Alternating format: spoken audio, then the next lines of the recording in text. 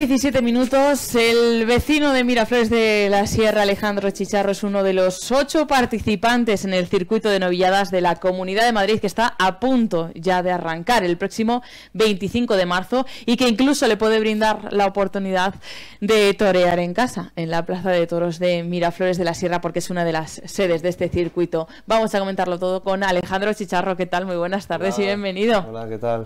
19 años. Sí. Te vestiste, debutaste de luces en, el, 21. En el 2021.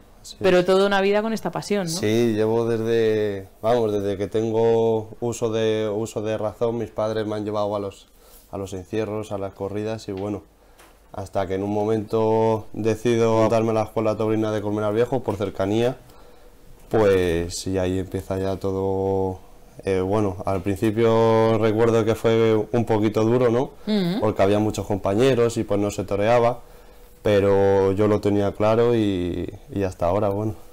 ¿Qué significa para ti estar en ese circuito de novilladas de Madrid 2023? Pues para mí es un sueño, ¿no? Porque cuando yo debutaba de luces, pues era la primera, hacían la primera edición y yo lo veía como algo súper lejano, ¿no? Y dos años después poder estar aquí representando la escuela, pues para mí mm. es un sueño.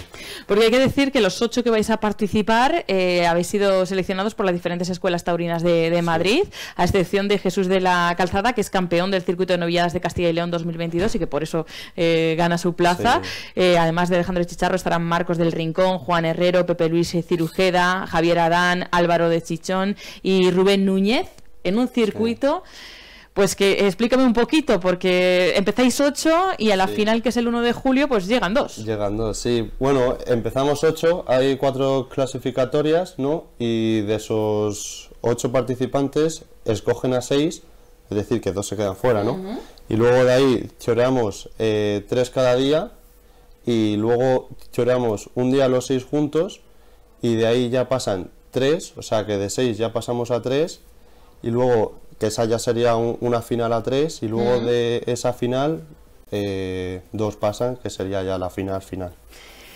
A ver, todas van a ser importantes. Sí, eh, Tú quieres pasar todas las fases. no, yo, yo, lo que quiero pues ya ganar, pero un poquito, Pero sobre todo que el 20 de mayo no nos falle, ¿no? Porque el 20 de mayo una de las semifinales se, va a, jugar en casa, en Miraflores de la Sierra. Sí, sí, para mí, bueno, eso no sé cómo cómo irá, pero si por algún casual puedo pasar a, esa otra fase y encima puedo torear en mi pueblo ante mi gente, pues sería, vamos, hmm. ya sería la bomba. ¿Lo has hecho ya en alguna ocasión, no? Sí, eh, he tenido la suerte, bueno, ahí fue donde debuté de luces, el 15 de agosto, y, el, y, la, y la pasada temporada también pude torear ahí otra vez el 15 de agosto. Y, hmm y la verdad es que tengo muy buenos recuerdos y como torear en casa no, no, vamos, no, hay nada, pero también es más complicado yo creo, porque...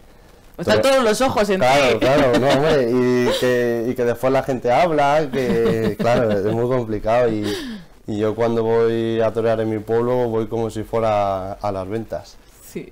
Bueno, y, no solamente es que hayas toreado en la Plaza de Toros, sino que también hace unas semanas estuviste tanto en la residencia Perpetuo ah, Socorro como también en tu colegio, en San Pablo, ¿no? Con, una muestra un poco de, toreo. Sí, fue una experiencia muy bonita, ¿no? Porque eh, ver a, tu, a los mayores del pueblo tan contentos con esa sonrisa y que te transmiten ese, esa confianza y como que, es más, yo hay a veces que siento como que ellos quieren que sean más toreros ellos que, incluso yo, ¿no? Y la verdad es que es muy bonito. Y luego en el colegio ver a los niños cómo se lo pasaban también, pues... Y además en mi antiguo colegio, pues la verdad que fue muy, mm. muy bonito.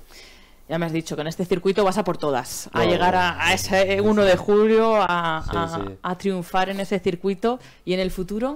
¿Cómo ves el, el futuro de Alejandro Chicharro? Pues la verdad es que, bueno, eh, no me gusta hablar mucho de, futuro porque prefiero ir una a una, ¿no? Pero no me puedo quejar, la verdad tengo bastantes, bastantes novilladas, por así decirlo, y, vamos, pero yo voy a ir una a una. Así que preferimos no cerrar los ojos, te iba a decir dentro de 10 años nada. O sea, tú, que sea el 25 de marzo.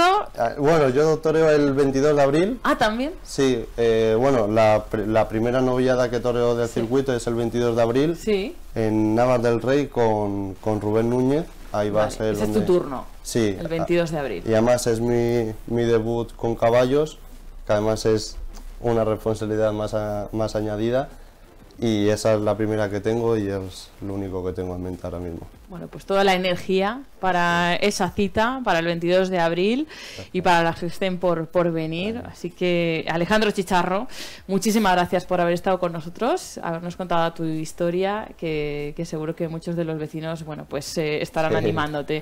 En el caso de ese 20 de mayo, esperemos que sí, eh, te vean en su plaza. Así que gracias. Ojalá, muchas gracias a vosotros. hasta la próxima. Gracias.